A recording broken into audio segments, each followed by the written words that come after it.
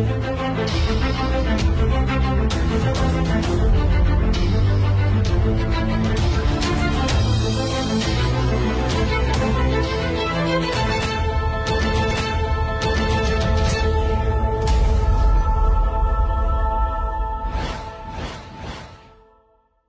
chào tất cả các anh em nhé.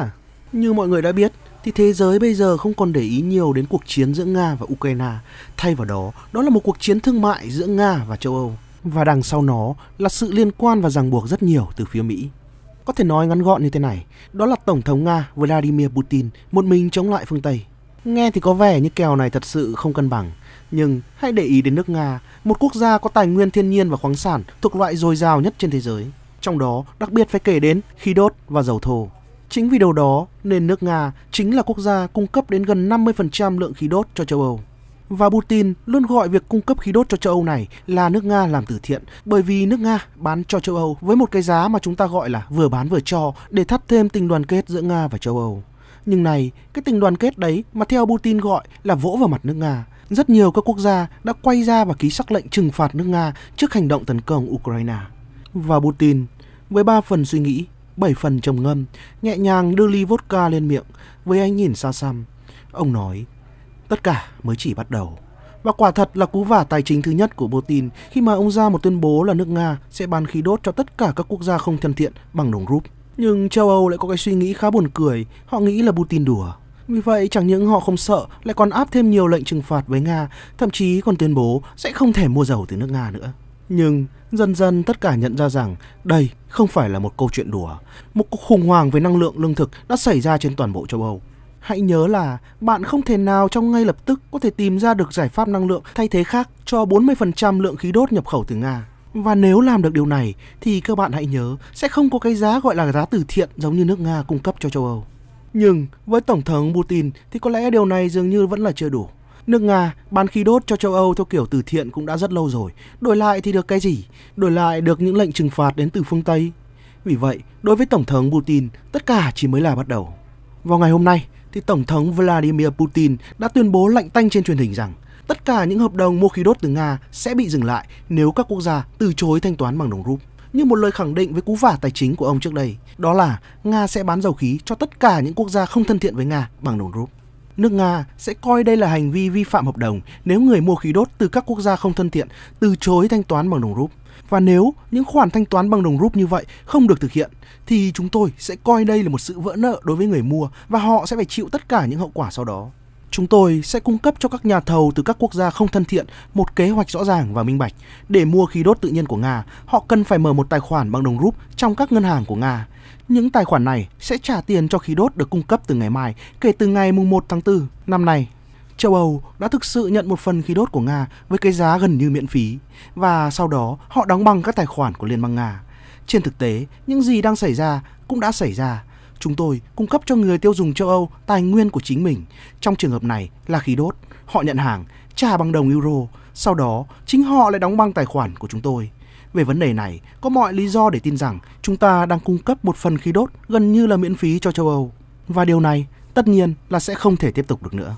Về bản chất thì các biện pháp trừng phạt mà phương Tây đang áp đặt chính là đối với quyền tự do của chúng ta.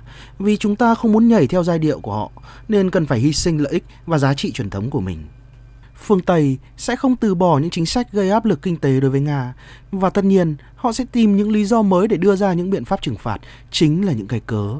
Do đó, trong tương lai gần, chúng ta không nên tin tưởng vào những thay đổi trong cách tiếp cận của phương Tây trong bất kỳ trường hợp nào. Và ở các nền kinh tế hàng đầu ở châu Âu, các bạn có thể thấy lạm phát đang phá kỷ lục cả ở Mỹ.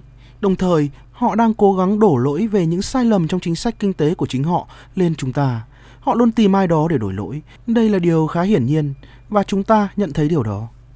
Và quả thật lời tuyên bố này của Putin đúng là liệu sự như thần. Ngay sau khi ông một lần nữa khẳng định sắc lệnh Nga sẽ bán khí đốt cho các quốc gia không thân thiện bằng đồng rúp, ngay lập tức nó khiến cho toàn bộ phương Tây rơi vào cuộc khủng hoảng năng lượng và Mỹ cũng không ngoại lệ. Tổng thống Joe Biden trong một bài phát biểu của mình đã đổi cho việc tăng giá nhiên liệu kỷ lục ở Mỹ đó là cái giá của Putin. Tại Washington, ông Biden đã nhiều lần gắn hiện tượng tăng giá trên thị trường năng lượng thế giới với chiến dịch đặc biệt do Nga thực hiện ở Ukraine. Những sự kiện đó vào đầu tháng 3 thì Tổng thống Hoa Kỳ đã ký một sắc lệnh là cấm nhập khẩu năng lượng từ Nga và các khoản đầu tư mới vào lĩnh vực năng lượng của Nga với tính chất như là một gói trừng phạt. Sau việc này thì giá xăng tại các trạm xăng ở Mỹ bắt đầu tăng vọt, khiến nhiều người trong nước chỉ trích ông Biden và các thành viên trong chính quyền của ông. Ông luôn nhấn mạnh rằng các hành động quân sự của Putin cũng như ban hành sắc lệnh bán khí đốt bằng đồng rúp khiến người dân Mỹ gánh chịu xăng tăng giá. Trong khi đó, ở châu Âu đang phải chịu một áp lực vô cùng lớn về cuộc khủng hoảng năng lượng. Rất nhiều người châu Âu đã nhận định rằng châu Âu sẽ chịu thua Nga khi mà mất điện và họ đang tạo ra một áp lực vô cùng lớn lên các chính phủ trong việc châu Âu phản đối quyết định của Nga chấp nhận thanh toán khí đốt bằng đồng rúp. Trên tờ báo Anh Daily Mail, trong phần bình luận của bài báo, thì dân mạng đã mỉa mai so sánh cuộc đối đầu năng lượng giữa phương Tây và Nga là trò chơi của những đứa trẻ để xem kẻ nào thua trước. Một độc giả thì cho rằng EU sẽ chớp mắt trước, sau cùng thì họ chỉ cần mở một tài khoản ngân hàng của Nga. Một độc giả Anh khác thì nhận xét, đây là một bước đi táo bạo của Putin, ông ấy đã thách thức sự vô tội vạ của chúng ta. Phương Tây liệu có thể tìm thấy được một nhà xuất khẩu mới đủ nhanh để tồn tại sau khi ngừng hoạt động hay không? Hay chúng ta sẽ nhượng bộ Nga trước áp lực và trả bằng đồng rúp? Trong khi một độc giả khác thì chia sẻ, nếu châu Âu từ chối nhiên liệu của Nga thì chúng ta sẽ phải mua khí đốt từ Mỹ với giá cao hơn nhiều, chưa kể tiền vận chuyển, không phải là trạng thái tốt nhất. Tôi lo sợ khi nghĩ về các dự luật sắp tới. Trong khi một độc giả khác thì thẳng thừng hơn, đúng, các nhà lãnh đạo châu Âu hoàn toàn vô dụng. Và có vẻ như, tuy rằng tất cả chúng ta đã đánh giá cao Putin, nhưng thật sự chúng ta vẫn còn đánh giá chưa đủ, chưa thấu khi mà các công ty mua bán khí đốt từ Nga đã đồng loạt tuyên bố rằng chúng ta đã hiểu sai về cách thức mà Putin muốn vận hành tài chính bằng đồng rúp. Như vậy là chúng ta có thể hiểu là các công ty sẽ có thể tiếp tục thanh toán khí đốt của Nga bằng đồng euro hoặc đô la cho các ngân hàng và chính họ sẽ chuyển sang đồng rúp. Bộ trưởng chuyển đổi sinh thái Pháp Barbara Bombili cho biết. Thông tin mà chúng tôi nhận được trong những ngày gần đây từ Nga khiến chúng tôi hiểu rằng cuối cùng các công ty vẫn có thể tiếp tục thanh toán bằng đồng euro cho các ngân hàng mà phía Nga sẽ tự hoán chuyển đồng euro thành đồng rúp. Miễn là các công ty thanh toán bằng euro theo các hợp đồng đang được thực hiện. Vì vậy, điều này không có thay đổi nhiều với các công ty của Pháp hay châu Âu. Hiện tại, không có nguy cơ phá vỡ hợp đồng nếu quyết định này được thực hiện. Đây quả thật là một đòn bẩy tài chính cho kinh tế Nga vực dậy sau khi chịu rất nhiều lệnh trừng phạt từ phương Tây cho cuộc chiến với Ukraine.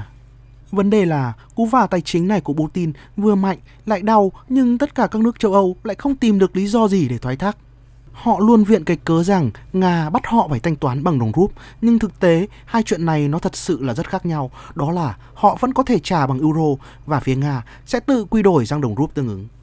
Có thể vấn đề này sẽ làm một số bạn rất khó hiểu, vì vậy tôi sẽ làm một video riêng về cái cách mà Putin đang dùng khí đốt để làm thành một đòn bẩy tài chính vực dậy nền kinh tế của Nga sau hậu chiến Ukraine. Còn tất cả các bạn, các bạn có cảm nghĩ như thế nào về video này? Hãy bình luận ở phần bên dưới nha. Còn bây giờ thì bye bye anh em.